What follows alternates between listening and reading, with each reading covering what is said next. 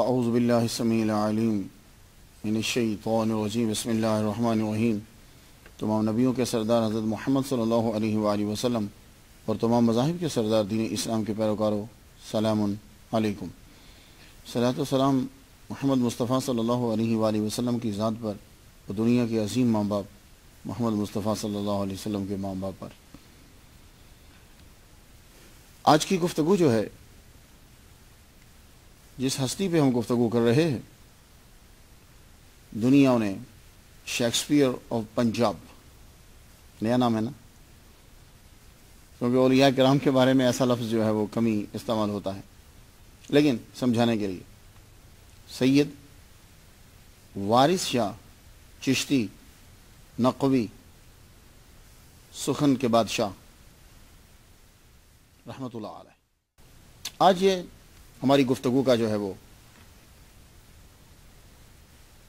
وارث شاہ کے جب نام لیا جاتا ہے تو ایک وارثی سلسلہ کے بانی ہیں۔ وہ انڈیا میں ہیں۔ ان پہ میں گفتگو کر چکا ہوں۔ وہ ہیں سید وارث علی شاہ۔ رحمت اللہ علیہ۔ یہ ہیں سید وارث شاہ چشتی نقوی۔ رحمت اللہ علیہ۔ نام پہ گفتگو تیزی سے کرتے ہوئے آگے بڑھتے ہیں کہ انہوں نے دنیا کو کیا میسج دیا۔ سید، آپ کے نام کے ساتھ سید جو ہے وہ شروع میں لگ رہا ہے، اس لیے کہ آپ سادات خاندان سے اور آپ کا شجرہ نصب سید صدر الدین بھاکری سے ہوتا ہوا امام علی الہادی نقی علیہ السلام سے جا کے ملتا ہے۔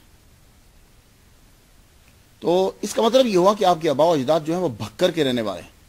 ضلع بھکر کے اصل نام آپ کا وارث شاہ ہے۔ یہ وارث کسے کہتے ہیں؟ اردو میں بھی استعمال ہوتا ہے، عربی میں بھی استعمال ہوتا ہے۔ عربی میں جب استعمال ہوتا ہے تو اصطلاحاً بھی استعمال ہوتا ہے۔ تو اصطلاحاً اس کا معنی عربی کے اندر یہ بنتا ہے کہ جو آدمی دنیا سے گزر گیا ہے اس کے مال کا صحیح حقدار، اسے وارث کہتے ہیں۔ ویسے، بعد میں یہ لفظ ایک معنی کے لیے جب اسے وضع کیا جاتا ہے، تو پھر اس میں وسعت آتی جاتی ہے۔ تو پھر وہ اور بہت سے معنی میں استعمال ہونے لگ جاتا ہے۔ ٹھیک ہے؟ تو یہ لفظ پھر اس کے بعد خامد کے معنی میں بھی استعمال ہوا۔ مالک کے معنی میں بھی استعمال ہونے لگا۔ تو وارث شاہ جو ہے، آپ نے اپنے کلام کے اندر اس کو بطور تخلص بھی استعمال کیا ہے۔ اصلی نام کو ہی شاعری کے اندر بطور تخلص بھی استعمال کیا۔ شاہ۔ یہ جو شاہ ہے نا لفظ شاہ، آپ نے بڑا سنا ہوگا، یہ فارسی کا لفظ ہے۔ اس کا معنی ہوتا ہے اصل اور جڑ روٹس یہ اصل جو ہے اور جڑ جو ہے، فارسی کے اندر اسے شاہ کہتے ہیں۔ اصل معنی یہی تھا۔ پھر یہ شاہ بادشاہوں کے لیے استعمال ہونے لگا۔ کیوں؟ اس لیے کہ وہ جتنی رعایا ہوتی ہے، اس کی اصل بادشاہ ہے۔ وہ ادھر ہی پلٹتے ہیں۔ مرجع وہی ہوتا ہے۔ تو پھر شاہ بادشاہ کے لیے استعمال ہونے لگا۔ پھر آہستہ آہستہ اس کا معنی شاہ کا معنی بڑا، بڑی چیز استعمال ہونے جیسے شاہ رگ شہباز شاہ راہ۔ تو یہ شاہ جو ہے، اسے پھر کیا ہوا کہ آہستہ آہستہ جو بڑا آدمی ہوتا تھا اس نے اپنے نام کا لاحقہ اسے بنا لیا شاہ کو۔ بہادر شاہ، احمد شاہ، نادر شاہ۔ پھر یہ ہوا کہ انہوں نے اس کو اپنے نام کا حصہ بنا لی پھر ایک دور آیا کہ جب یہ جو شاہ ہوتا تھا، لفظ شاہ، یہ صرف سادات کے لیے استعمال ہونے لگا آخر میں۔ لیکن ہوا یہ کہ پھر ایک دور آیا کہ جو آدمی امیر ہو جاتا تھا، جس کے پاس پیسے ہوتے تھے، وہ اپنے نام کے ساتھ شاہ لکھنے لگ جاتا تھا۔ تو پھر سادات نے بھی آہستہ آہستہ شاہ کا لفظ چھوڑ دیا۔ انہوں نے جب شاہ کا لفظ چھوڑا، تو اب وہ جس امام کی اولاد سے ہوتے تھے، اس امام کو کا نام جو ہے، نسبتی یا لگا کے تو آخر میں استعمال کر لیتے بات آپ کو کچھ سمجھ آ گئی؟ تو سید وارث شاہ۔ تو پرانے دور کے اندر شاہ لگتا ہی اسی کے ساتھ تھا جو سید ہوتا تھا۔ چشتی۔ سید وارث شاہ رحمت اللہ علیہ کے ساتھ چشتی۔ آپ مشربن چشتی ہیں۔ کیسے معلوم ہوا کہ آپ چشتی ہیں؟ آپ کا جب کلام پڑھا جاتا ہے نا، آپ کی جو شعفا کتاب ہے، ہیر۔ ہیر کو جب ہم پڑھتے ہیں، تو حمد، نعت، پھر ہمیں دو بزرگوں کا ذکر ملتا ہے۔ ایک بزرگ ہیں، جن کا ذکر انہوں نے پہلے کیا، وہ شہباز مکانی کندیل نورانی، الشیخ سید عبد القادر گیلانی، الحسنی والحسینی رحمۃ اللہ علیہ، جن کو غوث پاک کہا جاتا ہے۔ ان کا ذکر کیا۔ ان کا ذکر کرتے ہوئے فرماتے ہیں، مہربان ہو کہ چور کتب کیتا۔ بخش دتیاں، ملک جگیریاں نی۔ کاندے کل اختاب دے قدم دھریا، پائیاں قرب حضور وڈیریاں نی۔ کاندے، شولڈر کے اوپر، قادمی حاضی اللہ رقبت کل ولی جلا اس کی طرف اشارہ کہ تمام اختاب کے کندھوں کے اوپر آپ کا جو ہے وہ پاؤں مبارک تو ان کا ذکر کیا آپ نے۔ اس کے بعد آپ نے جو دوسرا ذکر کیا ہے، وہ بابا فرید الدین گنج شکر رحمت اللہ علیہ کا ذکر کیا۔ تو آپ کہہ سکتے ہیں کہ پھر اس کا مطلب کیا ہوا؟ اگر ذکر دونوں کا کیا ہے تو پھر آپ آپ کے پیر عبد القادر گیلانی رحمۃ اللہ علیہ بھی ہو سکتے ہیں۔ تو بھائی عبد القادر گیلانی رحمۃ اللہ علیہ کا ذکر کرنا ہر ایک کے لیے ضروری ہے۔ معلوم ہے کیوں؟ اس لیے کہ کوئی ولی ولی نہیں بن سکتا جب تک غوث پاک کا وہ ذکر نہیں کرتا۔ ان کا ذکر جو ہے وہ ہر جتنے بھی سلاسل ہیں وہ جمع تفریح کر کے وہیں پہنچتے ہیں۔ تو وہ ذکر ان کا کرتے ہیں۔ لیکن آپ کا اس کے بعد ذکر کرنا اور بابا فرید الدین گنج شکر رحمۃ اللہ کا ذکر کرنا اور کسی کا ذکر نہ کرنا، یہ اس بات پہ دار ہے کہ کوئی خاص نسبت ہے۔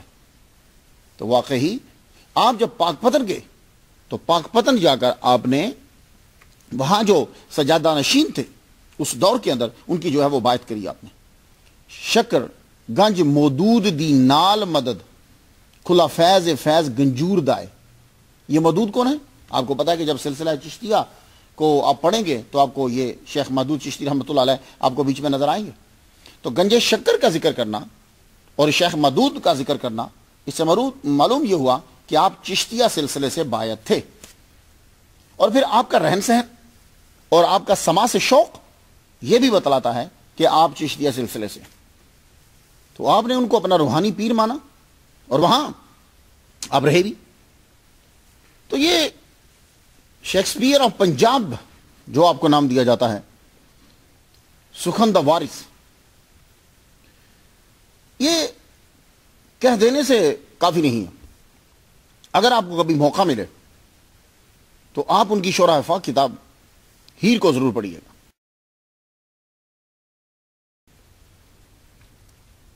آپ کی ہیر آپ کی روح ہے اور آپ کا جسم اور روح دونوں سلامت۔ آپ نے جب کتاب لکھی تو اس میں تاریخ بیان کی نساح اس کے اندر آپ کو ملیں گے، بندوں کی فطرت کا تذکرہ ملے گا، اخلاقیات اس کتاب کے اندر ملیں گے آپ کو، اخلاقیات کے فوائد کیا ہیں وہ ملیں گے، اخلاقیات پر عمل نہیں کرتے تو کیا ہوتا ہے؟ تو ملیں گے، کرنا ہمیں کیا چاہیے؟ اس دنیا میں ہم کیوں آئے ہیں؟ ہمیں پلٹ کر کہاں جانا ہے؟ استعارات ایڈیمس محاورات ایسے جڑ دیے، ایسے پرو دیے کہ آدمی جب اس کتاب کو پڑھتا ہے تو کہنا پڑتا ہے یہ کہ یہ شیکسپیئر آف پنجاب ہے۔ اس نے رو، رومیو جولیٹ لکھی تھی۔ وہ لکھا، انہوں نے ہیر رانجا کی سٹوری کو جو ہے وہ لکھا۔ اور اس کے اندر ایسی ایسی چیزیں ڈال دی ہیں کہ آپ کو ماننا پڑے گا کہ ان کو زبان کے اوپر زبردست جو ہے وہ عبور حاصل اور میں تو یہ کہتا ہوں کہ وارث شاہ نے موتیوں، ہیرے جواہرات کو ہیر رانجا کی کہانی کے گڑے میں پھینک دیا میں تو یہ کہوں گا گڑے میں پھینک دیا۔ موتی تھے آپ کے پاس؟ ایک گڑا نظر آیا، جس کا نام جو ہے وہ ہیر رانجا ہے، سٹوری۔ اس کے اندر آپ نے موتی، جواہرات، ساری چیزیں اس کے اندر جو ہے وہ ڈال دی۔ بس صرف زبان جدا ہے۔ سید وارث شاہ پنجابی زبان کے شیکسپیئر ہے۔ اور آپ زبان کے خالق ہیں۔ جب آپ کی کتاب ہم پڑھا جا پڑھتے ہیں تو لگتا ہے کہ آپ پنجابی زبان کے خالق ہیں۔ خالق سمجھتے ہیں نا۔ زبان کو بیان کرنے والی نہیں ہے۔ زبان کو جدھر چاہے موڑ دیں۔ جو چاہے کافیہ استعمال کر لیں۔ یوں لگتا ہے کہ لفظ تو آپ کے آگے ہاتھ جوڑے کھڑے ہیں۔ جدھر چاہے موڑتے ہیں۔ اور لفظ آپ کے سامنے ہاتھ جوڑتے ہیں۔ کہ ہمیں استعمال کیجیے؟ یوں۔ اب ذرا میں آپ کو مثال دے دوں۔ کہ لفظ کیا کس طرح ہاتھ باندھے آپ کے سامنے کھڑے رہتے ہیں؟ اور آپ کو آپ کو زبان پہ کیسی عبور حاصل ہے؟ سنیے گا ذرا۔ حاجی نوشو پیر نوشائیاں دا، تے بھگت کبیر جلاسیاں دا۔ یہ جلاسیاں کیا ہے؟ جلاحا تو اصل لفظ جلاحا ہے، لیکن آپ کو آپ خالق ہیں زبان کے۔ تو لکھ رہے ہیں جلاسیاں یہ لفظ میں مجازی طور پہ استعمال کر رہا ہوں، مجھے ڈر لگا رہتا ہے۔ تو جلاسیاں ویسے تو ساری زبانوں کا خالق اللہ تعالیٰ ہے۔ پھر سے شیخ ظاہر ہے پیر جو موچیاں دا لکمان لوہار ترخاسیاں دا۔ یہ ترخاسیاں کیا ہے؟ یہ اصل میں ترخان ہے۔ لیکن آپ کو زبان کے اوپر اتنا کنٹرول حاصل ہے۔ زبان کے لفظوں کے موجد کہہ لیجیے آپ۔ چلیے، اب تو اعتراض نہیں ہوگا نا؟ خالق کہوں گا تو اعتراض ہو جاتا۔ ویسے اللہ تعالیٰ نے لفظ خالق حضرت عیسیٰ علیہ السلام کے لیے بھی استعمال کیا ہے۔ تو آپ کی بادشاہی ہے اس زبان کے اوپر۔ بات کوئی سمجھ میں آ گئی؟ تاریخ پیدائش۔ کب پیدا ہوا کس دور کے اندر؟ پھر یار ذرا جب دور کا پتہ چل جائے تو سمجھنا آسان ہو جاتا ہے کہ آدمی کے اوپر جو اثرات ہیں، یہ کیوں ایسے ہوئے؟ تو لیکن کریں کیا؟ معمول کے مطابق یہاں بھی فل اختلاف ہے۔ جتنا اختلاف ہو سکتا ہے اسے زیادہ ہے۔ لیکن میرے نزدیک سید وارث شاہ چشتی نقوی رحمت اللہ علیہ، آپ سترہ سو نو عیسوی کے اندر پیدا ہوئے، جس کی ابھی دو ہزار چودہ جا رہی۔ سترہ سو نو عیسوی میں پیدا ہوئے۔ اب میرے پاس کیا دلیل ہے؟ میں باقیوں کو غلط نہیں کہتا۔ ہر ایک نے اپنا گھوڑا دھڑایا، ہر ایک نے ریسرچ کری، جو اسے، جو اس کے پاس ذرائع تھے، اس نے اس کے مطابق لکھ دی۔ تو میں سترہ سو نو کیوں لکھ رہا ہوں؟ کہ پہلی دلیل یہ ہے کہ آپ نے قصیدہ بردہ شریف کا ترجمہ کیا تھا۔ وارث شاہ صاحب بہت بڑے علامہ ہیں۔ ہماری بدقسمتی یہ ہے کہ ہم کس آدمی کی ایک چیز کو لے کر بس اسی پہ لگے رہتے ہیں۔ اس کی باقی صلاحیتوں کو اجاگر نہیں کرتے۔ ہیر وارث شاہ، ہیر وارث شاہ بول دی، سید وارث شاہ رحمۃ اللہ علیہ جید عالم اپنے دور کے۔ شاید ہی کوئی ان کے برابر کا ہو۔ جیسا کہ اعلیٰ حضرت عظیم البرکت، شام رضا خان بریلوی رحمۃ اللہ علیہ، ان کو ہم نے صرف ہدایت کے بخشش تک جو ہے محدود کر دیا۔ جبکہ وہ باون علوم میں ان کو دسترت حاصل تھی۔ تو سترہ سو، انہوں نے قصیدہ بردہ شریف کی شرح جو لکھی، وہ سترہ سو انتالیس میں لکھی۔ آپ نے سترہ سو چھبیس کی جو جنگ کشمیر ہے، اس کا ذکر کیا۔ اور آپ ہیر لکھتے ہوئے یہ کہتے ہیں کہ دیکھو، میں جو ہیر لکھ رہا ہوں، میرے پاس کوئی کتابیں نہیں ہیں۔ کہ میں ان کتابوں سے جو ہے وہ لے کے تو پھر لکھتا جا رہا ہوں۔ میں نے کسی کا چرایا نہیں ہے۔ یہ میں خود اپنے مائنڈ سے لکھ رہا ہوں۔ جنگ کا تذکرہ بتاتا ہے کہ آپ ہوش و حواس میں تھے۔ تقریباً سولہ سترہ سال کے تو ہوں گے۔ پھر بھی یہ سترہ سو نو بنتی ہے آپ کی تاریخ پیدائش۔ اور ڈاکٹر اسمت اللہ زاہد نے بھی سترہ سو نو ہی لکھی۔ تو سترہ سو نو میں سید وارث شاہ کی پیدائش ہو اور سترہ سو پچاسی میں وصال، تو ٹوٹل عمر آپ کی چھہتر سال جو ہے وہ بنتی تاریخ پیدائش کے بعد اب جائے پیدائش۔ ہے کہ آپ پیدا کہاں ہوئے؟ کس جگہ پیدا ہوئے؟ تو سب سے مستند جو ہے وہ چیز یہ ہوتی ہے کہ جس کے بارے میں بول رہے ہو، وہ خود کہیں لکھ گیا ہو۔ اس کی دلیل سب سے معتبر ہوگی۔ پھر اس کے ڈسائپل کی یا اس کے رشتہ داروں کی۔ تو آپ نے خود اپنی کتاب کے اندر اپنے قلم سے لکھ دیا۔ شیر چھ سو اٹھائیس نمبر شیر کے اوپر۔ وارث شاہ وسنیک جند یالڑے دا تے شاگرد مخدوم قصور دائے جنڈیالڑا سمجھ آ گیا؟ تو یہ جنڈیالڑا جو ہے، یہ وسنیک آپ نے بتا دیا۔ کہ یہاں کا یہ باسی ہے، یہاں کا رہنے والا ہے۔ تو پتا چلا کہ آپ کا جو جائے پیدائش آپ کی جو ہے، وہ جنڈیالہ شیر خاں یہ جنڈیالہ شیر خاں کہاں ہے؟ اس علاقے کے اندر جنڈی جنڈ ہوتے تھے۔ تو لوگوں نے اس کا نام جنڈا والا رکھ دیا۔ اور استعمال کرتے کرتے یہ جنڈیالہ ہو گیا۔ لیکن جنڈیالہ کے ساتھ شیر خاں کیسے لگ گیا؟ تو یہ جو شیر خاں ہے، اصل میں یہ ایک صوفی تھے۔ افغانستان کے پٹھان۔ وہاں سے یہ داخل ہوئے۔ پیر و مرشد ان کے پیر نے بھیج دیا، جاؤ، جا کے تبلیغ کرو۔ تو وہاں سے آتے ہوئے یہ شیخو پورا لاہور کے اندر پہنچے۔ یہاں یہ تبلیغ کرتے تھے گاؤں کے اندر جا کر۔ تبلیغ بھی کرتے اور لوگوں کے لیے ریافہ اما کے کام بھی کرتے۔ تو یہ تبلیغ کرتے کرتے یہاں جنڈیالہ میں یہاں پہنچے۔ اس قصبے میں جب پہنچے تو یہاں کے لوگوں کو پانی کی کمی تھی۔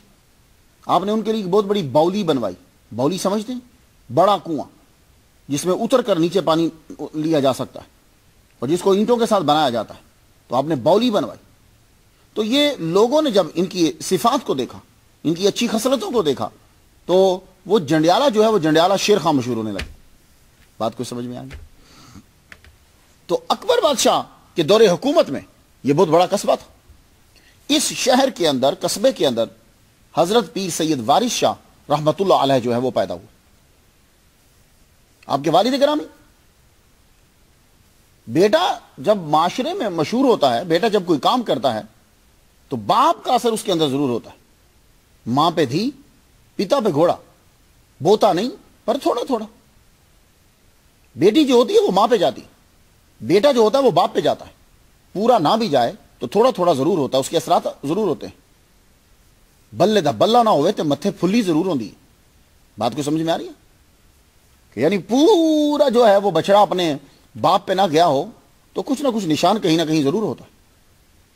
تو آپ یہ سمجھتے ہو کہ سعید وارش رحمۃ اللہ علیہ جو اتنے مشہور ہوئے ہیں، تو باپ کا کچھ اثر تو ہوگا۔ ہاں باپ جو ہیں، یہ سارا خاندان یہاں کا رہنے والا نہیں ہے۔ یہ بکھر سے مائگریٹ ہوئے ان کے والد گرامی۔ تبلیغ کرتے کرتے کرتے کرتے، جیسے سادات کا کام تھا، تبلیغ کرتے کرتے یہ یہاں جنڈیالہ میں پہنچ گئے۔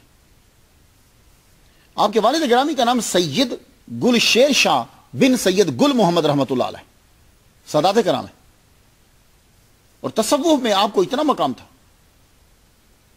اس دور میں تو نارمل آدمی جو ہے وہ بڑا صوفی ہوتا تھا۔ تو جو سادات ہوں گے، عالم دین ہوں گے، ان کا مقام کیا ہوگا؟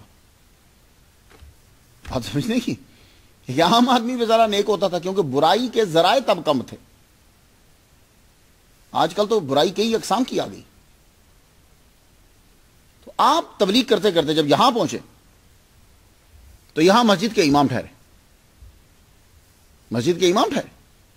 اور تصوف کے اندر، اور پھر گاؤں کی مسجد ہو، پھر اور تصوف کا موقع ملتا۔ ہے تو اللہ تعالیٰ نے آپ کو مقام قطبیت عطا فرما دیا۔ تو آپ جب یہاں تشریف لائے، تو اب آپ کی فیملی بھی کچھ افراد جو ہیں وہ یہاں آ گئے۔ اللہ تعالیٰ نے آپ کو دو بیٹوں سے نوازا، قاسم شاہ اور بہار شاہ۔ دو بیٹے اللہ تعالیٰ نے آپ کو دیے۔ بعض نے کہا کہ آپ کے علاوہ دو بھائی تھے۔ کارنوز بیٹر؟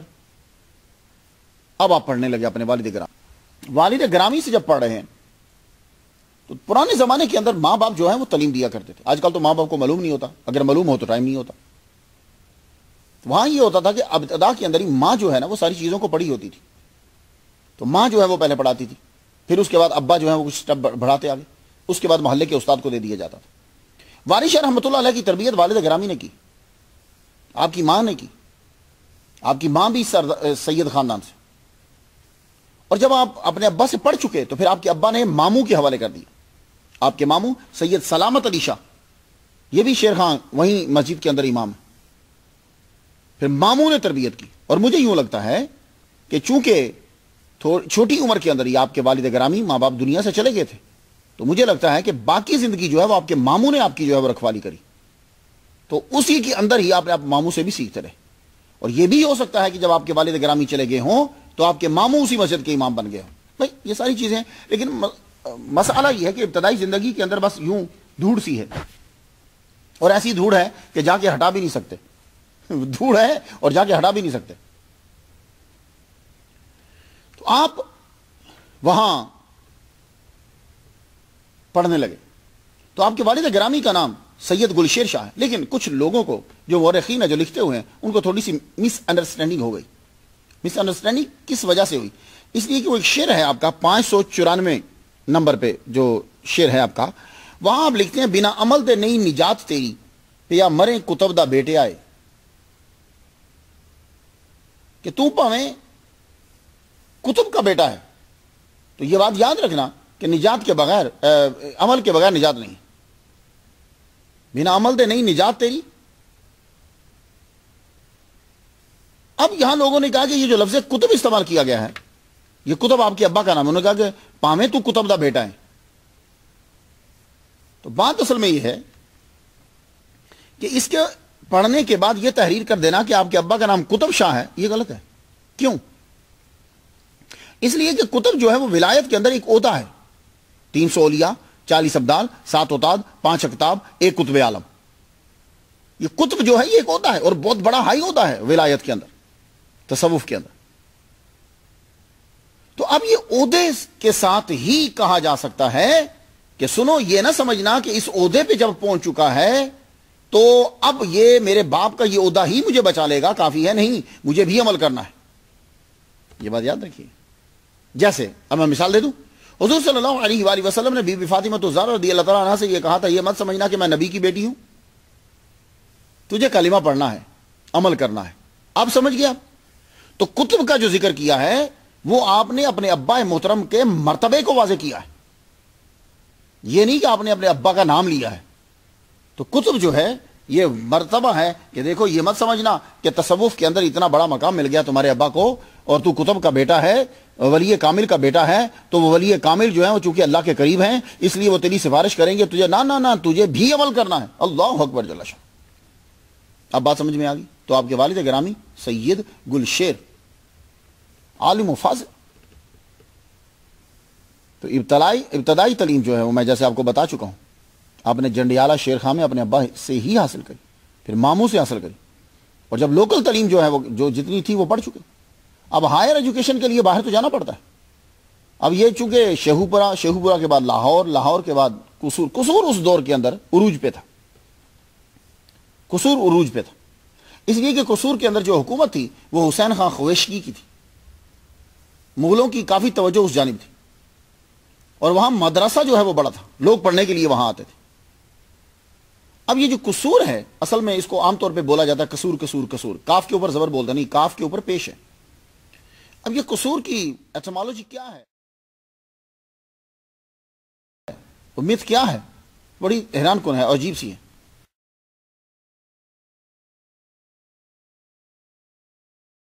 یہ قصور اصل میں کشور تھا۔ قصور اصل میں کشور تھا۔ اور کشور جو ہے، رام سیتا کے بیٹے کے نام پر آئے مگر مجھے تعجب ہے کہ ایسی تبدیلی دیکھی بڑی کم ہے۔ قصور کے اندر پہلا لیٹر بڑا کاف ہے، کینچی والا، اور کشور کے اندر پہلا چھوٹا کاف ہے، اور پھر وہاں شین ہے، اور یہاں سواد ہے۔ تو ایسی تبدیلی کس طرح ہو گئی؟ میری بات آپ سمجھیں اور کشور کا معنی معلوم ہے کیا ہوتا ہے؟ کشور کا معنی ہوتا ہے نوجوان نوجوان لڑکا۔ اور قصور کا معنی کیا ہے؟ اب قصور کے معنی، قصور جو ہے یہ جمع ہے کسر کی۔ کسر کا معنی محل بھی ہوتا ہے کسر کا معنی جو ہے وہ تخفیف بھی ہوتا ہے کسر کا معنی خطا بھی ہوتا ہے۔ تو قصور جو مشہور ہوا، اب اب قصور چلے گیا تو قصور اس لیے آئے کہ وہ اس دور میں علم کا گڑھ تھا۔ اور تعلیم حاصل کرنا جو ہے، وہ آسان تھا ذرا، اتنا مہنگا نہیں تھا۔ تو سید وارث شاہ رحمۃ اللہ علیہ، اس دور کے جید عالم دین، حضرت علامہ غلام مرتضی قصوری حضوری رحمت اللہ علیہ کے پاس پہنچے۔ مکمل درس نظامی آپ نے پڑھا۔ سید وارث شاہ، ہیر وارث شاہ، ہیر وارث شاہ کہہ کے ان کو ایک طبقے کے ساتھ خاص کر دیا۔ سید وارث شاہ رحمۃ اللہ علیہ نے قصور کے اندر رہتے ہوئے آپ نے پھر پوری مکمل درس نظامی۔ اور آپ نے پورا علم پڑھا ہے، یہ اندازہ کیسے ہوگا؟ تو یہ آپ ان کی کتاب پڑھ لیجیے آدمی نے اگر خود کتاب لکھی ہے نا، تو کتاب بتائے گی کہ آدمی جس دور میں لکھی ہے، اس دور میں وہ علم کے اور اس مقام پہ تھا۔ وہ کتاب بتا دے، اگر اس نے خود لکھی ہے۔ ہاں یہ بات یاد رکھی تو آپ ان کی کتاب جب پڑھیں گے تو آپ کو معلوم ہو جائے گا کہ آپ فارسی، عربی حتیٰ کہ سنسکرٹ تمام وید آپ نے پڑھے ہوئے تھے۔ آپ نے ابو الفضل سکندر سکندر نامہ بدر چاچ کران السادین، دیوان حافظ آئین اکبری نگار نامہ واحد باری، خالق باری، اللہ باری، رازق باری، صادق باری، توتی نامہ، نصاب سبیان قرآن، حدیث، تفسیر فکر تمام کتابیں پڑھی۔ یہ میں وہ کتابیں بول گیا ہوں کہ جو اس دور میں تھیں، اب ہیں ہی نہیں۔ اب نہیں یہ چھوٹی چھوٹی فارسی کی بکس تھی پڑھتے تھے، لوگ زبانی یاد کر لیتے تھے ان کو۔ تو سید وارث شاہ رحمت اللہ علیہ کو صرف پنجابی نہ سمجھو، وہ اتنے جید عالم تھے کہ یقین جانیے کہ اگر ان کی ابتدائی زندگی کے کچھ چیزیں مل جائیں، آپ حیران ہو جائیں۔ اور جب آپ تمام علم پڑھ چکے تو اس دور کے اندر طریقہ یہ ہوتا تھا کہ علوم ظاہریہ کے بعد علوم باطنیہ کی طرف ضروری جانا ہوتا تھا۔ کہ اب تم لوگوں نے سارا دس مروجہ علوم پڑھ ڈالے ہیں، جاؤ، اب جا کر اس علم کا استعمال سیکھو۔ اس کے لیے پیر کامل پیر کامل مرشد کی تلاش ہوتی تھی۔ تو آپ کے استاد محترم نے جب یہ فرمایا، تو آپ پھر قصور سے پاک پتن کی طرف۔ پاک پتن جب آپ پہنچتے ہیں، تو پاک پتن آپ پہنچے، تو وہاں اپنے فرید الدین گنج شکر رحمت اللہ علیہ کی آل کا جو بھی تھے، ان کی باعت کری ہاتھ پر۔ کیونکہ ضروری ہوتا ہے کہ زندہ کی باعت کری جائے۔ میں بابا بلے شاہ کی تقریر میں آپ کو بتا چکا ہوں کہ زندہ کوئی ہو، اس کے ہاتھ میں ہاتھ دو۔ تصور سے بھی فیض آتا ہے، لیکن اس کا زندہ کا ہونا ضروری ہوتا۔ وہ فرماتے ہیں کہ عورت خامد کے تصور سے ماں نہیں بن سکتی کہ آج سے سو سال پہلے کسی بندے کا تصور کر لے اور وہ ماں بن ایسا نہیں ہو سکتا۔ یا کوئی مریض آدمی کسی ڈاکٹر کا تصور کر لے، نہیں۔ تو آپ بھی گئے اور جا کر آپ نے چھ ماہ کا وہاں چلا کاٹا۔ میں آپ کو بتا چکا ہوں کہ چلا جو ہے، اصل میں یہ چالیس دن کو بولتے ہیں، لیکن اب یہ ایک عمل کا نام بن گیا ہے۔ وہ چاہے چالیس کا ہو، تھوڑا ہو یا زائد ہو۔ چھ ماہ آپ نے وہاں قیام کیا۔ بابا فرید الدین گنج شکر رحمۃ اللہ علیہ کے روزہ تہر کے قریب اور آپ نے اقرار کیا ہے کہ یہ سب فیض جو ملا ہے، یہ گنج شکر کا فیض شکر شکر گنج مودود دی نال مدد، کھلا فیض فیض گنجور دائے تو تعلیم مکمل جب آپ نے کر لی، تو بندہ جب یونیورسٹی سے فارغ ہوتا ہے یا کسی جگہ سے فارغ ہوتا ہے، تو پھر وہ اپنے گاؤں واپس پلٹتا ہے۔ وہاں جاتا ہے۔ کوشش اس کی وہی ہوتی لیکن آپ اپنے ابائی گاؤں جنڈیالہ میں بھی نہیں گئے اور قصور میں بھی نہیں رکے۔ پاک پتن گئے اور پاک پتن سے آپ ملکہ ہانس چلے گئے۔ کیا وجہ ہے؟ آپ جید عالم ہیں، آپ قصور کے اندر رک جاتے۔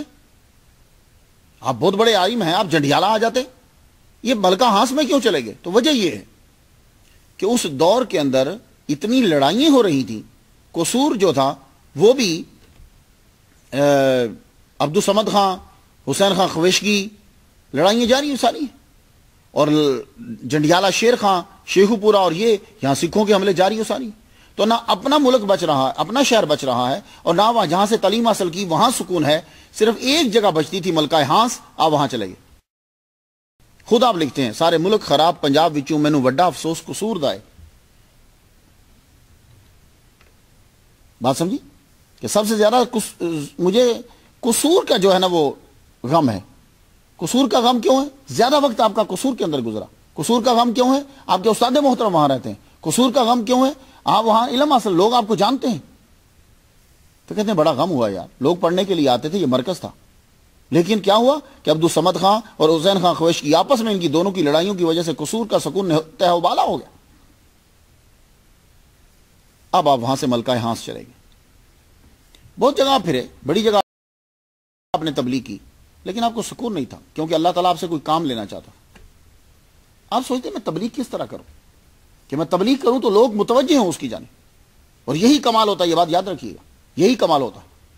یہ جتنے علماء کرام نکلتے ہیں مدارس سے پڑھنے کے بعد، ان کو وہ جہاں جائیں، وہ وہاں جا کے مطالعہ کریں کہ یہاں لوگ بات کو کس زبان میں کس طرح سے سمجھیں گے۔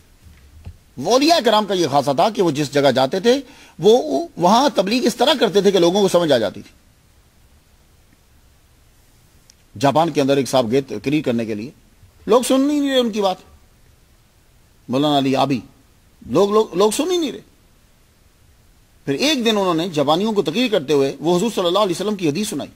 کون سی حدیث؟ کہ ایک آدمی آگے پوچھتا یا رسول اللہ، میرے پہ کس کا زیادہ حق ہے؟ احسان کا، بھلائی کرنے کا۔ کہ میں اس کے ساتھ بھلائی کروں فرما تیری ماں کا، پھر فرما تیری ماں کا، پھر تیری ماں کا، پھر کہا تیرے باپ کا۔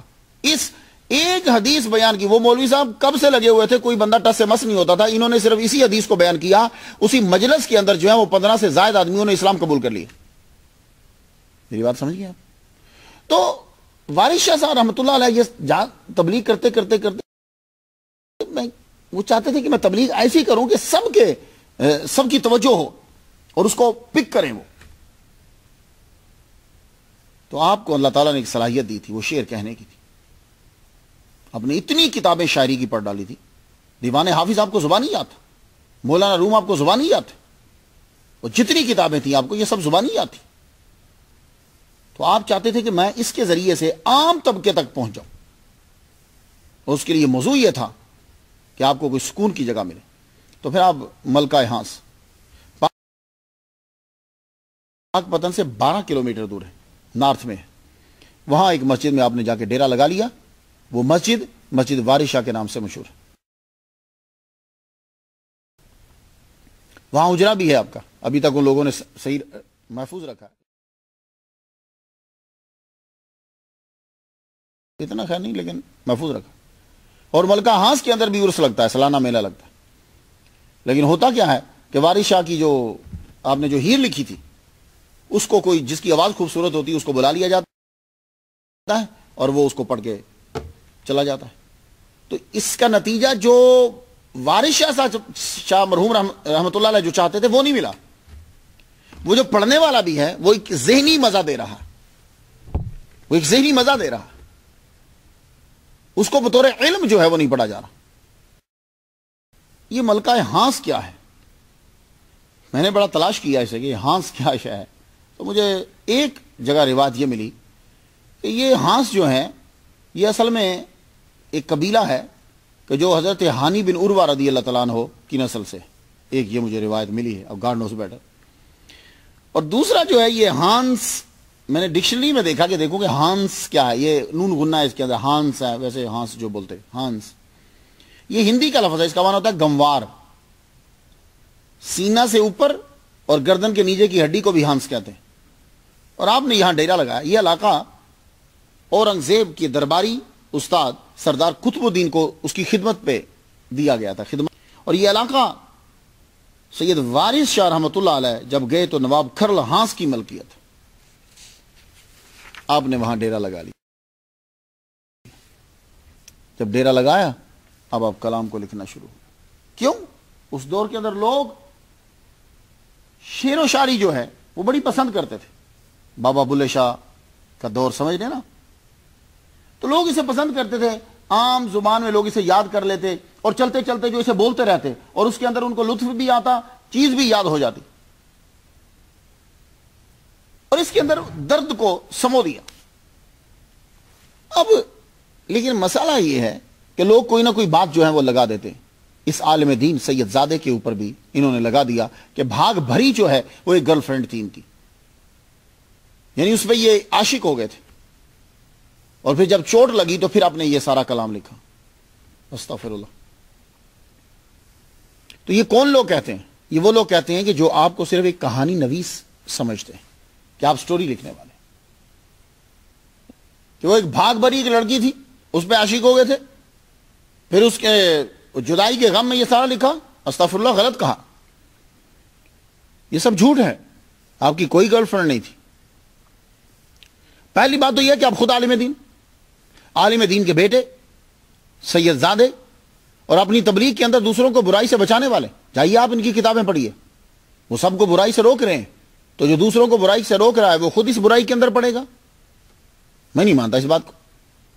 اصل میں بات یہ ہے کہ جب بھی کوئی گلوکار غمگین گانے گاتا ہے یا کوئی عشقیہ کتاب لکھتا ہے تو مشہور کر دیتے اس کا کسی سے عشق چل رہا تھا۔ کامیاب نہیں ہوا تو پھر دل ٹوٹ گیا تو یہ کتاب لکھ ڈالی۔ نہیں، یہ بات نہیں۔ اب پہلے بھاگ بھری کا مطلب سمجھ لیجیے بھاگ ہندی لفظ ہے۔ اس کا معنی ہوتا ہے حصہ، خوش نصیبی۔ بھاگ بھرا، اس کا مطلب ہوتا ہے خوش نصیب۔ اقبال مند، اس کی موننے سے بھاگ بھری، خوش نصیب عورت۔ آپ سمجھے، بھاگ بھری، خوش نصیب عورت۔ یہ سید وارش رحمۃ اللہ پر بہتان ہے کہ بھاگ بھری نام کی کوئی لڑکی آپ کی گرل فرینڈ تھی، یہ بہتان آپ کی زندگی میں لوگوں نے لگا دیا ایک مرتبہ۔ وہ نام تو کہ جی یہ یہ جو کھانا دینے کے لیے جاتی ہے، سید وارش رحمۃ اللہ علیہ ناؤس ولائی ان کا کوئی، اس کے ساتھ تعلق ہے؟ آپ نے فرمایا اچھا اگر تم یہ کہتے ہو کہ میرا اس کے ساتھ تعلق ہے، تو میں کافی عرصہ یہاں رکا ہوں۔ یہ روٹی دینے کے لیے آتی ہے۔ کئی بار تو مجھے خود معلوم نہیں ہوتا کہ یہ کون آیا ہے۔ لیکن اگر تم کہتے ہو، تو آگ جلاؤ جس دن سے میں آیا ہوں، اب تک۔ اگر کبھی بھی میری نظر اس کے اوپر کوئی محلی نظر اٹھی ہو تو آگ مجھے جلا ڈالے۔ تو ملکہ ہانس کے لوگوں نے پھر آگ جلائی۔ جب آگ جلائی تو آپ بسم اللہ کرتے ہوئے اس آگ کے اندر جو ہے وہ چل پڑے۔ آگ نے آپ کے پاؤں کو نہیں چلایا۔ تو آپ فرماتے ہیں کہ جب سے آیا ہوں تو اب تک اگر کبھی بھی میلی نظر سے دیکھا ہو۔ جبکہ وہ لڑکی کئی بار راتوں کو آ کر کھانا دینے کے لیے شام کو آتی تھی۔ اور دیر تک بیٹھی رہتی اور آپ کے کلام کو سنتی رہتی۔ خدا کے لیے ایسا بہتان مت لگایا کر تو حقیقت یہ ہے کہ آپ نے ایک ترکیب استعمال کی اس لیے ڈاکٹر موہن سنگھ دیوانہ نے یہ کہا ہے کہ آپ نے کسی بھاگ بری سے عشق نہیں کیا، نہ شادی کی۔ یہ ان کا ایک تخیل تھا۔ وہی اسی طرح علامہ اقبال کے اوپر بھی الزام لگا دیا۔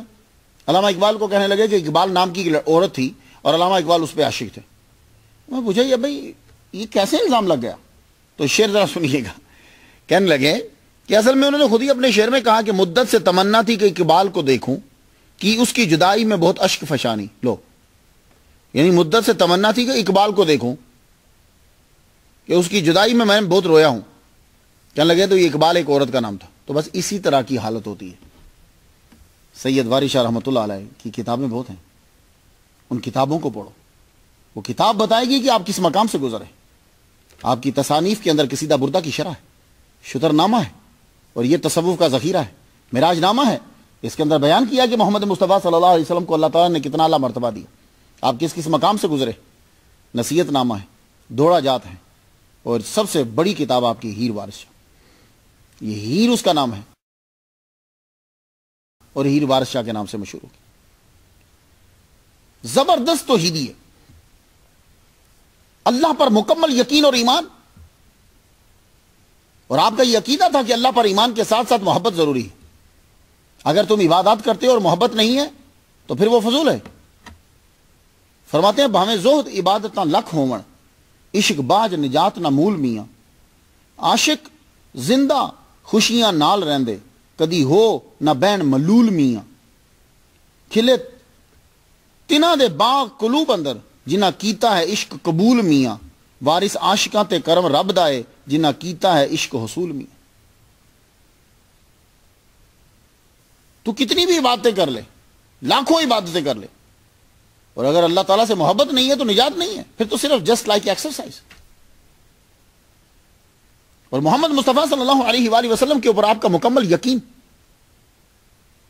رسالت پر ایمان۔ اور آپ کے نزدیک حضور صلی اللہ علیہ وآلہ وسلم تمام مخلوق سے میں افضل ہیں۔ دوئی نات رسول مقبول والی جند حق نزول لولاک دوئی نات رسول مقبول والی جند حق نزول لولاک کیتا، والی کر کے مرتبہ ودا دیتا، سب خلق دے عیب تھی پاک کیتا۔ اور خاص طور پر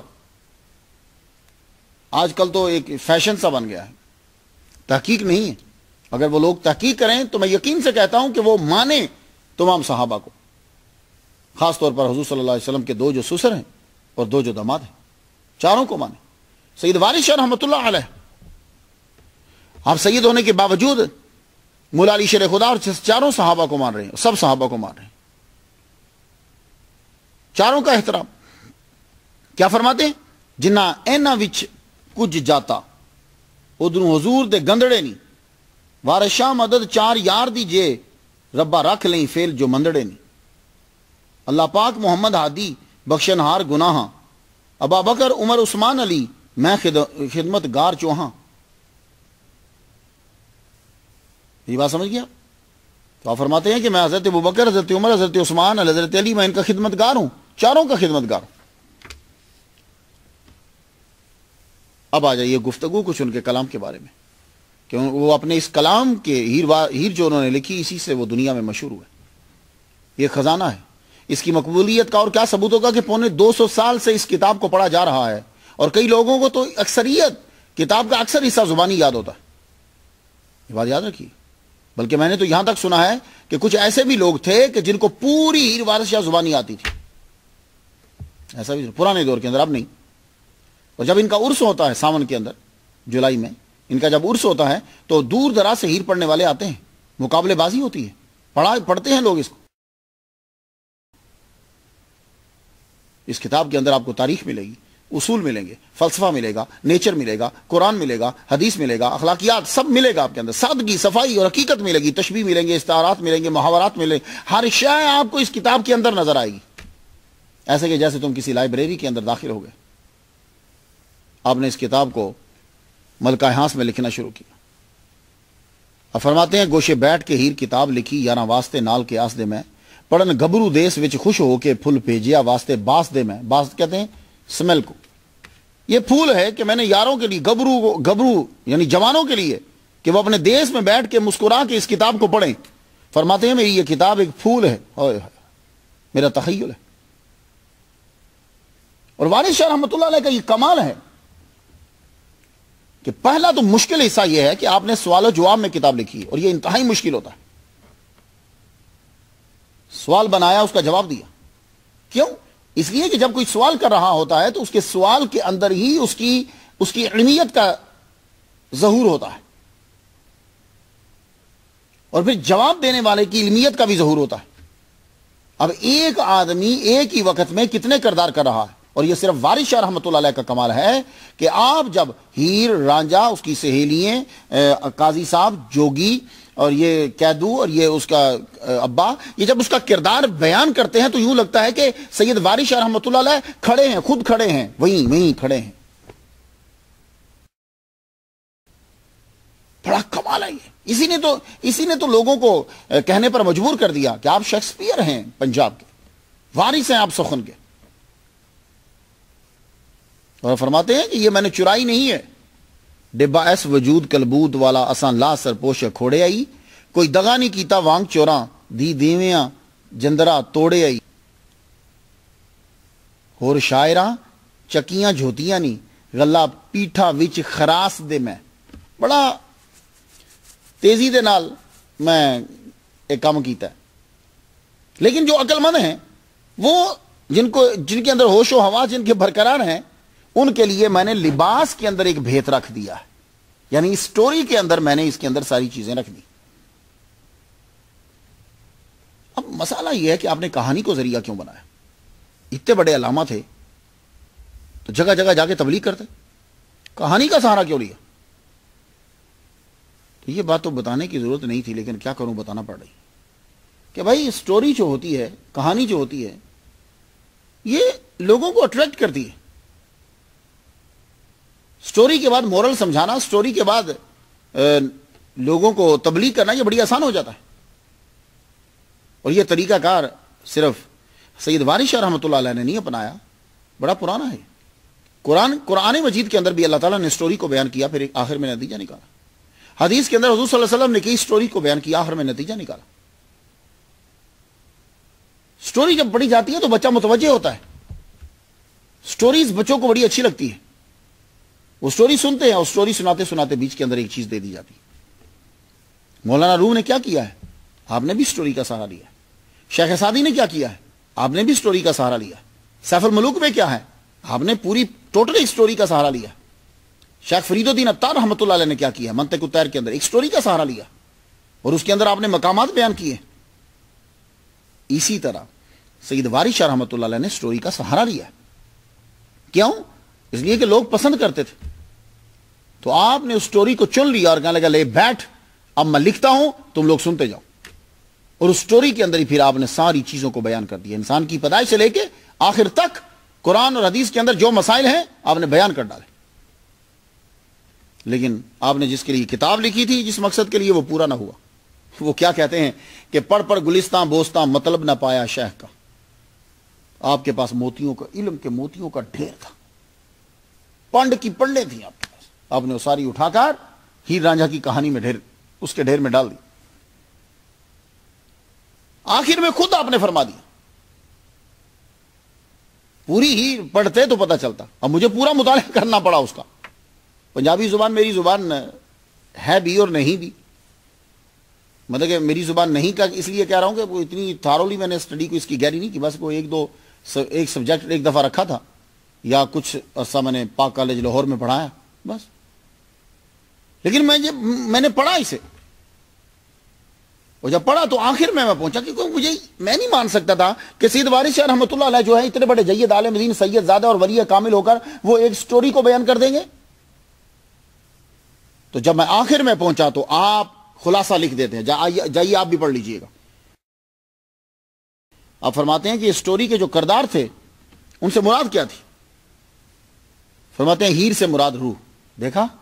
آگی نا بات اصل ہیر سے مراد روح رانجا سے مراد جسم پنج پیر سے مراد پنج حواس کوٹھا سے مراد قبر کھیڑا سے مراد اسرائیل قیدو سے مراد شیطان سہیلیوں سے مراد وہ برادری اور دوست خاندان مسجد سے مراد شکم ماں کا پیٹ پلنگ سے مراد پلسرات بھینسوں سے مراد مزدوری جنگ سے مراد دنیا اللہ اکبر اب بتاؤ تم لوگ چلو اگر یہ نہ لکھا ہوتا تو میں سمجھتا تو وہ سٹوری صرف یہ تھی کہ لوگ متوجہ ہوں اور سٹوری جب پڑھنے لگے تو بیچ میں اصل چیز بھی آ جائے۔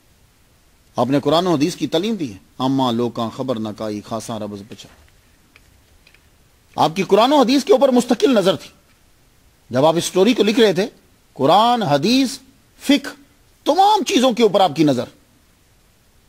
اسی لیے آپ نے جب کتاب کو شروع کیا تو حمد سے شروع کیا۔ اول حمد۔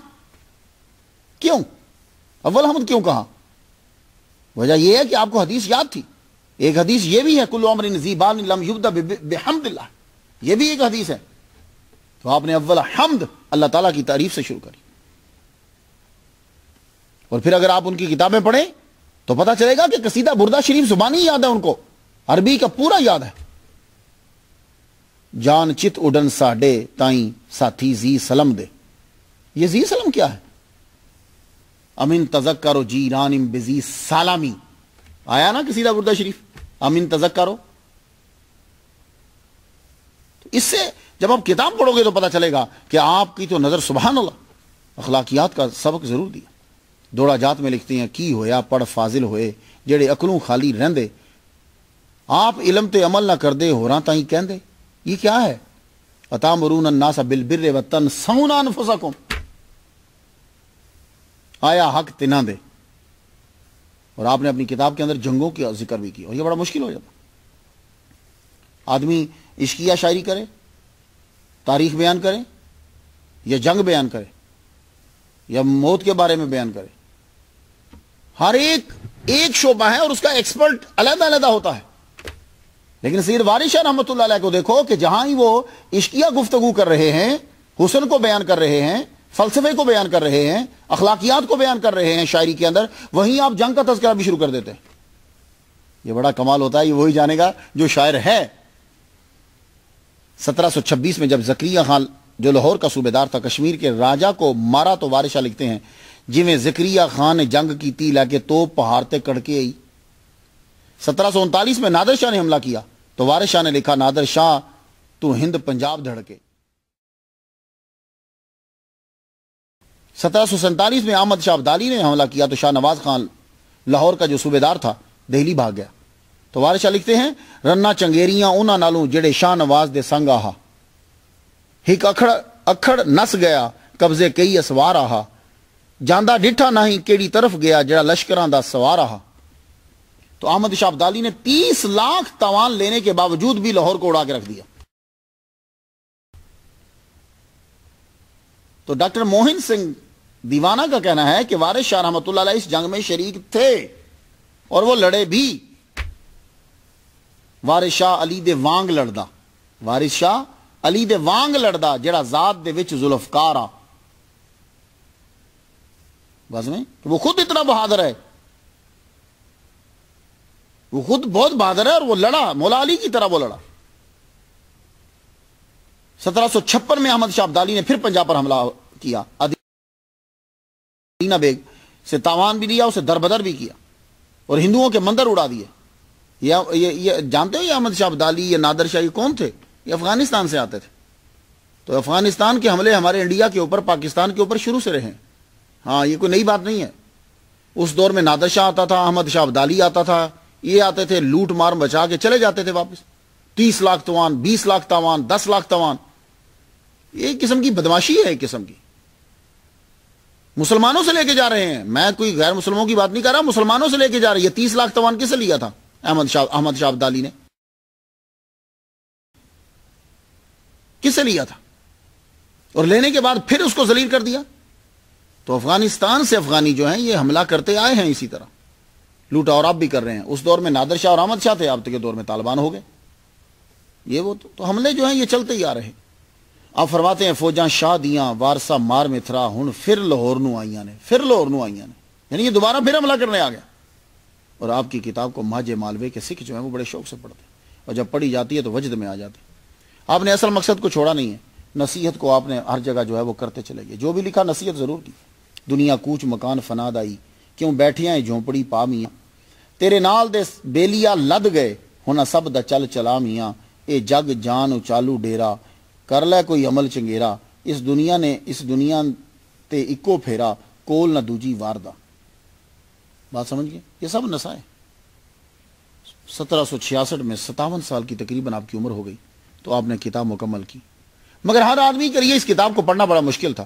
بعض تو کہتے ہیں کہ بڑے خوش نویس بھی تھے۔ لیکن آپ تیزی سے لکھتے چلے جاتے تھے۔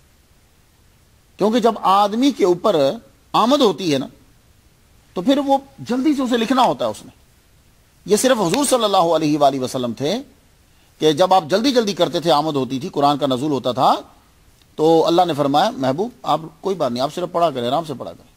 سنوکریو کا فراتن سے۔ ایسا پڑھائیں گے کہ بھولیں گے نہیں آپ کبھی۔ لیکن باقی جو ہوتے ہیں، ان پر جب آمد ہوتی ہے، تو ان کی طبیعت کے اندر تیزی آ جاتی ہے۔ اس کی مثال دوں میں آپ کو۔ علامہ اقبال رحمت اللہ علیہ۔ آپ کا نوکر کہتا ہے کہ جب آپ کے اوپر آمد شروع ہوتی تھی، اس وقت پھر آپ چکر لگانے لگ جاتے تیزی آ جاتی تو یہی سچویشن ہے کہ جب سید وارشہ رحمت اللہ علیہ پہ آمد ہوتی تھی، آمد ہوتی تھی تو آپ پھر اس کو لکھتے تھے۔ تو کچھ چیزیں جو ہیں وہ آپ کی سمجھ میں تو آتی تھی، دوسری کی سمجھ میں نہیں تھی۔ تو جب ساری آپ نے لکھ لی، تو لکھنے کے بعد ملکہ ہانس سے آپ نکلے، تو جنڈیالہ شیرخا میں پہنچے۔ اور آپ کا کلام ٹکڑے ٹکڑے تو مشہور ہو چکا تھا۔ کسی کو کچھ یاد تھا، کسی کو کچھ یاد تھا۔ جنڈیالہ شیرخا میں پہنچے تو آپ کی شہرت تقریباً ہو چکی تھی۔ لوگ آپ کے شگرد بنے۔ آپ کے ابا تو وہیں رہتے تھے نا۔ تو لوگ شگرد بنے آپ کے۔ سب سے قریبی شگرد آپ کا جو جو لکھنا بھی جانتا تھا وہ الہی بخش تھا۔ یہ درزی کا کام بھی جانتا تھا۔ آپ اسے کہنے لگے، یار میں تو اس طرح کر، تیری لکھائی اچھی ہے، تو ذرا صاف کر کے میری کتاب کو پھر لکھ دے۔ تو وہ روز آپ کے پاس بیٹھ جاتا۔ آپ پڑھتے جاتے کیونکہ بندے نے خود لکھا ہو تو وہ پڑھ لیتا ہے۔ لکھے موسا پڑھے خود آ، اس کو ہم کہتے ہیں لکھے موسا پڑھے خدا۔ موسا سے مراد موسا علیہ السلام اور خدا کو خدا بنا دیا۔ نہیں، وہ ہے لکھے موسا یعنی لکھا، لکھے بال جیسا بریک، تو اس کو پھر خود آ کے ہی پڑھے گا وہ۔ تو جو آپ نے لکھا ہوا تھا، آپ اس کو پڑھ کر پڑھتے وہ پھر اچھا سا لکھتا جاتا کہ جس کو عام بندہ بھی پڑھ سکے۔ اس کے نسخے آج بھی موجود ہیں، وہ لکھے ہوئے نہیں، جو آپ کے لکھے ہوئے ہیں، وہ۔ تو آپ جب اسے لکھواتے جاتے، پوری کتاب جب ہو گئی، تو کتاب ادھر لکھتے جاتے، یہ بھی لوگ یاد کرتے، وہاں ملکہ ہانس میں بھی لوگوں نے یاد کری، یہ کلام پھیلتا پھیلتا قصور تک بھی پھیل گیا۔ قصور تک جب پھیلا تو آپ کے استادوں کو پتا چلا۔ تو آپ کے استادوں نے فرمایا ایک کو بلا شاہ تھا، وہ بھی میرا شکر تھا، یہ وارش شاہ، یہ بھی میرا شکر وہ دونوں ہی ایک بجانے کی طرف نکل گیا، یہ گانے کی طرف نکل گیا کیا کیا تم دونوں نے؟ آپ نے کتاب بند کی، پوری کتاب ہو چکی تھی۔ آپ اپنی کتاب کو لے کے قصور چلے گئے۔ قصور اپنے پیر و مرشد کے سامنے گئے۔ استاد محترم، قصور پہنچے۔ قصور جا کر آپ اپنے استاد محترم علامہ قصوری، حضوری رحمت اللہ علیہ کے سامنے بیٹھے۔ کہا، یار والد یہ تو نے کیا کیا ہے؟ کہ حضور اجازت ہو تو کتاب شروع کروں نہیں نہیں، مجھے نہیں سننا۔ شریعت کے پابند ہونا ضروری ہے۔ میں مجھے نہیں سنا استادوں کو جب غصے میں دیکھا تو کہنے لگا، ٹھیک۔ گجرا تھا جہاں مہمان آ کے ٹھہرتے تھے، وہاں اجرے میں بیٹھ گئے۔ ایک دن گزر گیا، دو دن گزر گئے۔ تیسرے دن استادوں نے خود ہی بلا لیا۔ وارشہ ادھر آ تو نے لکھا کیا ہے؟ سنا ہاں ذرا۔ آئے ہائے ہائے لکھنے والا وارشہ سید زیادہ اور اپنا کلام خود پڑھے شاعر۔ آپ نے جب اول حمد سے شروع کیا نا، ابھی آپ نے کوئی پانچ، دس منٹ ہی گزرے ہوں گے۔ استاد تو وجد میں آ گئے فوراً شگرد کو بلا، جلدی لا پانی میرے سر پہ ڈال۔ پانی سر پہ ڈالا، کچھ تھوڑا سکون ملا۔ فرما لگے وارش آپ پھر پڑا پھر پڑا کہنے لگے پانی میرے سر پہ ڈال۔ آپ حیران ہو جائیں گے کہ آپ وارش شاہ رحمت اللہ علیہ اپنی ہیر لکھی ہوئی پڑھتے گئے اور وہ سر پر پانی تھوڑی تھوڑی دیر کے بعد ڈلواتے گئے۔ چار ہزار پانچ سو اشار استاد نے بیٹھے سن لی۔ بیچ میں صرف نماز کا وقت ہی ہوتا تھا۔ چار ہزار پانچ سو اشار ہیں ہیر کے اندر۔ تقریباً سن لیے۔ پانی ڈلواتے جاتے اور سنتے جاتے۔ بس نماز کا بیچ میں وقفہ ہوتا۔ کوئی کھانے پینے کی ہوش ہی نہیں ہے۔ جب پوری کتاب ختم ہو گئی تو استاد محترم کہنے لگے وارشاہ تو سارے ہیرے مونج دی رسی وچ پرو دیتے نے۔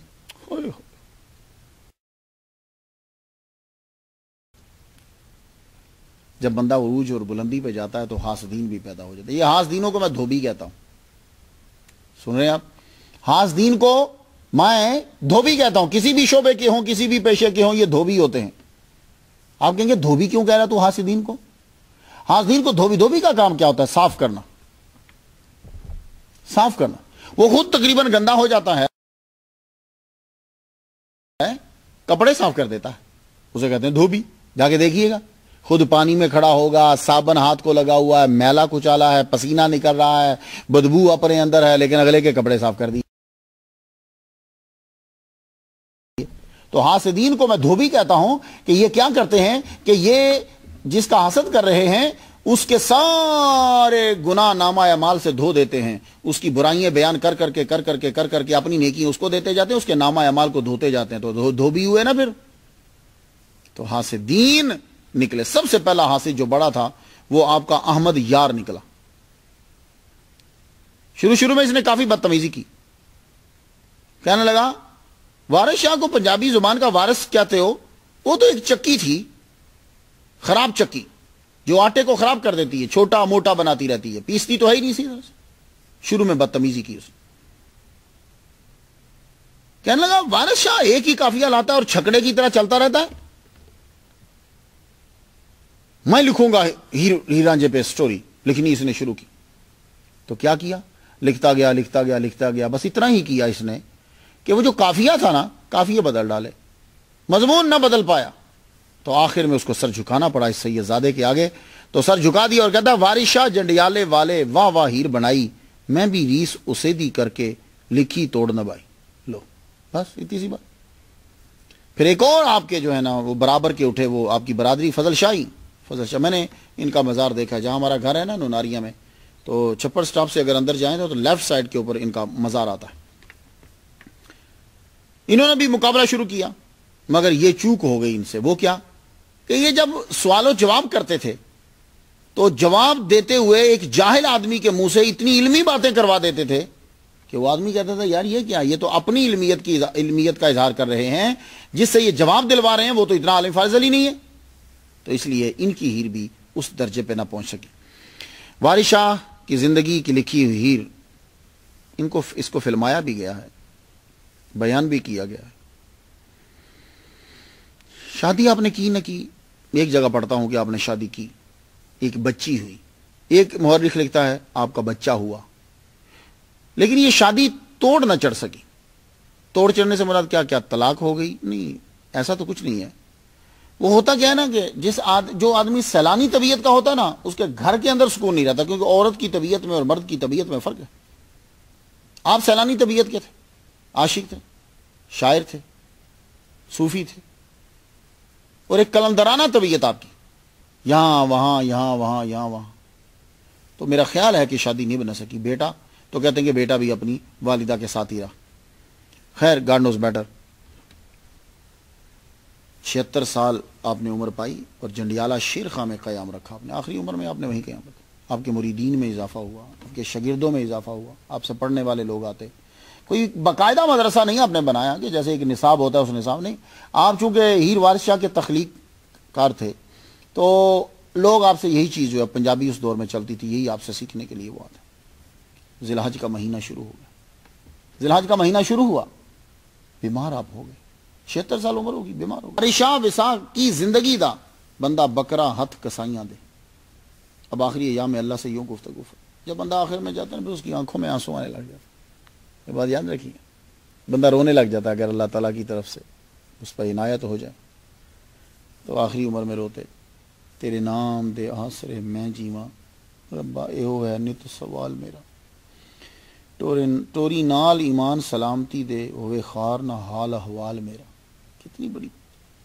یا اللہ، تیرے نام کا آسرا ہے۔ بس یہی میں عرض کرتا ہوں۔ جب جاؤں تو ایمان کے ساتھ جاؤں۔ میرا حال احوال خراب نہ ہوئے یعنی لوکی میری تعریف کر میرا نبی شفیع نے گبان ہوئے، ماضی حال تے جو استقبال میرا۔ یعنی محمد مصطفیٰ صلی اللہ علیہ وسلم سفارش کرنے والے میرے۔ وارشاہ فقیر دے عیب کجی، تو ہی قادر، تو ہی قادر، اجل جلال میرا۔ یعنی میرے عیبوں پہ اللہ پردہ ڈال۔ تو آخر نو ذی الحج کو آپ کو معلوم ہو گیا کہ اب میں چلا جاؤں گا۔ ولی کامل کو معلوم ہو جاتا۔ جانے والا ہوں تو کلمے کا، کلمہ کا ورد شروع کر دیا۔ لا الہ الا اللہ، لا الہ الا اللہ، لا الہ الا اللہ۔ وارث شاہ بیڑا پار تیرا کلمہ پاک زبان تے آیا ہی۔ ان کو یقین ہو کیونکہ جس حضور فرماتے ہیں کہ آخری کلمہ نزا کے وقت جس کا آخری کلمہ لا الہ الا اللہ محمد رسول اللہ ہو، اللہ تعالیٰ اس کو جنت عطا فرما دے گا۔ یہ نبی کی حدیث ہے۔ اس لیے آپ کو میں گر بتا دوں۔ کسی دن تنہائی میں بیٹھ کر تحجد کے وقت کہنا لا الہ الا اللہ محمد رسول اللہ، یا یہ کہنا اشہد اللہ الہ الا اللہ وحد اللہ شریک اللہ اشہد ان محمد عبد و رسول اور یہ کہنے کے بعد کہنا ہے اللہ، یہ جملہ تیرے پاس میری امانت ہے۔ جب میں دنیا سے جانے لگوں تو مجھے ایک منٹ پہلے، ایک سیکنڈ پہلے، بلکہ آخری لمحوں میں مجھے واپس دے دینا۔ تو اللہ تعالیٰ کسی کی امانت نہیں رکھتا۔ امانت میں خیانت نہیں کرتا، واپس ضرور دے گا۔ اور آج میں آپ سب کے سامنے یہ کہتا ہوں اللہ، اشہد اللہ الہ الا اللہ، وحدہ لا شریک اللہ واشہد ان محمد عبدہ و رسول لا الہ الا اللہ محمد رسول اللہ۔ یہ کلمات ہے اللہ، میں تیرے پاس امانت رکھ رہا ہوں۔ جب میں مرنے لگوں تو آخری کلمات یہی مجھے واپس عطا کر دینا۔ میں نے بولا، آپ لوگ بھی بولی نو ذلہ جو ہی تو آپ کے زبان سے کلمہ جاری ہوا وارث شاہ بیڑا پار، تیرا کلمہ پاک زبان تے آئے۔ ہی میں نے ان کے مزار پر جا کے حاضری دی فاتحہ پڑھا ہے۔ بڑا میرا دل کرتا تھا۔ میں جاؤں۔ دو ہزار تیرہ کے اندر میں گیا ہوں۔ تو جب آپ وہاں پہنچے تو ان کے ہاتھا کے اندر تین قبریں آپ کو وہاں نظر آئیں۔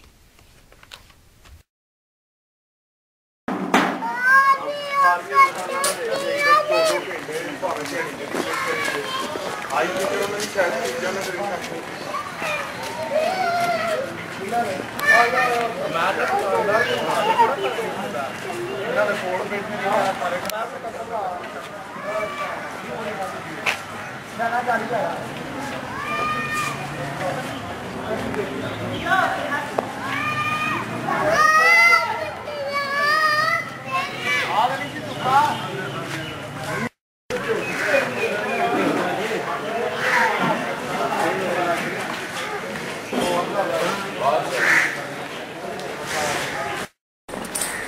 گی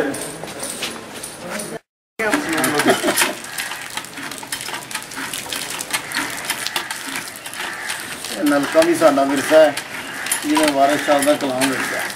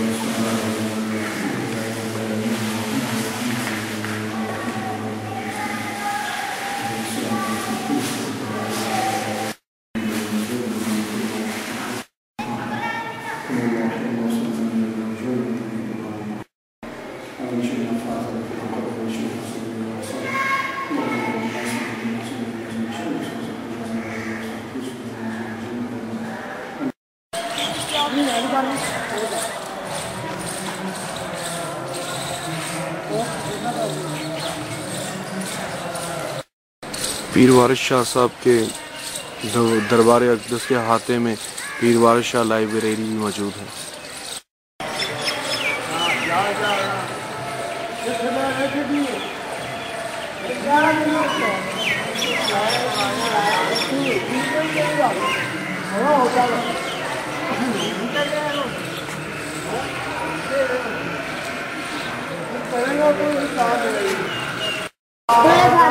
وہاں پہنچا پھر۔ تو وہاں جب آپ جاتے ہیں تو آپ کو دو چیزیں دیکھنے میں ملیں گی۔ اگر آپ کا فیلڈ جو ہے وہ تصوف ہے، تو آپ کو وہاں تصوف نظر آئے گا۔ اور اگر آپ کا فیلڈ صرف ایک سٹوری تک ہے، ہی رانجے کی سٹوری تک ہے، تو پھر آپ کو وہاں کلچر نظر آئے گا۔ دونوں چیزیں آپ کو وہاں نظر آئیں گی۔ تو جب آپ جائیں گے، تو بیچ میں سید بارش شاہ رحمۃ اللہ کی قبر ہے، دائیں طرف قاسم شاہ۔ ہر سال ساون کے مہینے میں عرس ہوتا ہے۔ تیئیس جولائی سے ستائیس جولائی تک دور دراز سے ہیر پڑنے والے لوگ جو ہیں وہ یہاں آتے وارث شاہ صاحب کا نام زندہ ہے۔ آپ نے سچ کہا وارث شاہ او صدائی جیندے نے جنہ کیتیاں نیک کمائیاں نے۔ پھر سن لو وارث شاہ صدائی جیوندے نے جنہیں کیتیاں نیک کمائیاں نے۔ میں تو ان کے لیے فاتحہ پڑھ چکا، آپ بھی ان کے لیے فاتحہ پڑھیے۔ اجازت دیجیے واخر دعوانا الحمدللہ رب العالمین۔